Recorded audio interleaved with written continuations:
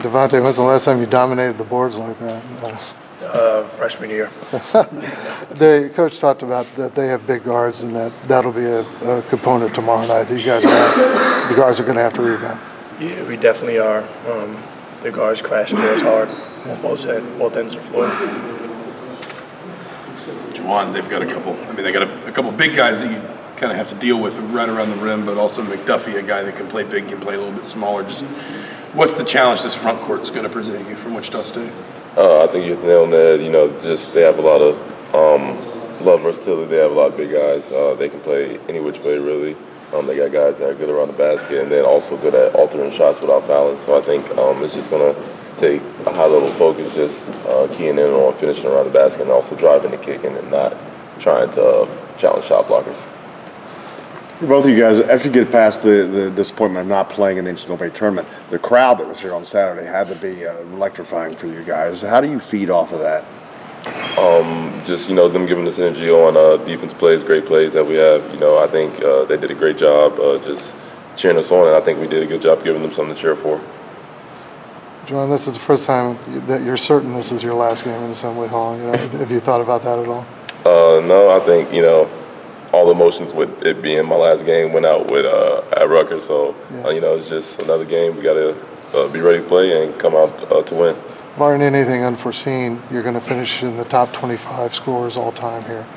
Given the history of the program, what does that mean to you? Um, It's a lot of points. You know that's a lot of points to be scored, and uh, I couldn't do it without all the teammates that I've had all four years. Coach Miller said something about just that once you get past the first game in this tournament, then you're just back to playing ball. I mean, does this feel just normal again? I mean, do you feel like you've gotten past a lot of like the emotional points, the dealing with not making the tournament? Are you back to just feeling like you're playing basketball games again? Uh, I definitely think that um, you can kind of tell uh, after they announced the tournament uh, field that every, all the guys are kind of disappointed and nobody uh, really wanted to like practice or anything. You can kind of feel it, but I think once uh, the actual game they got here, guys were uh, had a lot different mentality, and I think guys were ready to play. And uh, as you can see, we won the last two, so I think uh, guys are feeling more and more great about going into this postseason. Devonte, I saw you nodding there. Do you feel the same way? Basically, does this feel just feel like normal basketball Uh, again? yeah, I would agree. I think um, after the disappointment, you know, we got that out of the way. I think we just started to just play basketball again.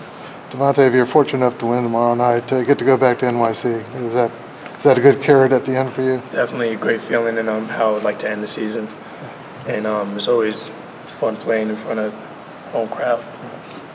How many, how many people do you think would be there? Obviously, you play AAU ball, the Wrens, play the long, you know, Lou High, just like, what would the support be like for you back in the? Um, there'd be a lot of people there.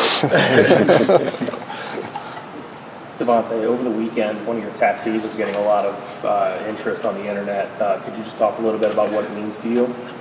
Um, I mean, I was surprised when I seen that it was everywhere, but um, uh, I mean, uh, I don't know. I mean, I don't really know. What, what's what, what's the The, question? the, uh, the GTA Yeah. tattoo, the cheat code. So, I thought of it when um, I was I was just thinking of tattoo ideas, and I was like, well, basketball wise, I think I'm a cheat code. You know, I see people tell, oh, you're a cheat code, you can't play. So, I was like, maybe I should get a cheat code tattoo. I know there's no 2K cheat code, so I went down the GTA list, and when I seen that one, I was like, oh yeah, that one's perfect. When did you get that?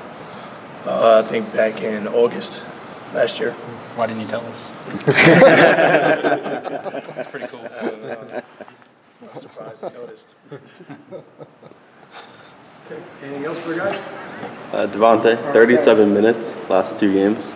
Like, how hard has up and on your body? Like, is that more than, are you more than fine playing through that? Uh, I mean, without Romeo, I know um, that I might have to play more minutes. So, but uh, I mean, I practice hard uh, every day of the week, so it's not it's not nothing new really. All right, thanks. Thanks.